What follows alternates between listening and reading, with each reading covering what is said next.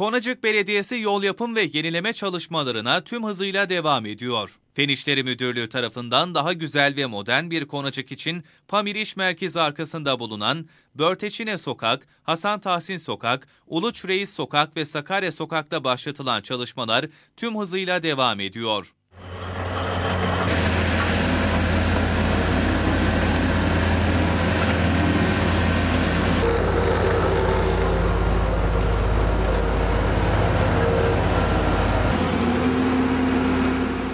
Belediye ekiplerince devam eden çalışmalar kapsamında kaldırım, parke taşı, duvar örme, yol yapım, peyzaj ve asfaltlama çalışmaları adım adım tamamlanarak söz konusu sokaklar Konacıklıların hizmetine sunuluyor.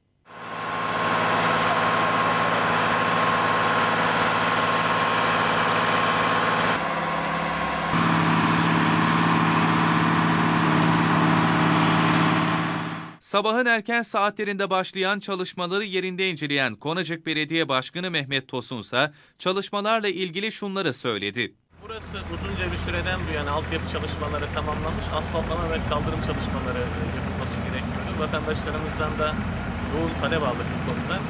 Artık yerleşimlerde yol genişletme, e, açma çalışmalarımız da tamamlanmış olan bu bölgede şu anda seri bir şekilde fen işleri birimimiz asfaltlama çalışmaları, kaldırım düzenlemesi çalışmalarını ve peyzaj birimimizde ağaçlandırma çalışmalarına devam ediyorlar. Böyle sabahın erken saatlerinde burada hummalı bir çalışmayı görüyorsunuz. İnşallah önümüzdeki günlerde bu bölge daha kullanılabilir, daha yaşanılabilir bir hale gelecek ve vatandaşımız tozdan, topraktan, çamurdan kurtulacak. Yağmurlar da bastırmadan buradaki çalışmaların tamamını bitirmeyi düşünüyoruz.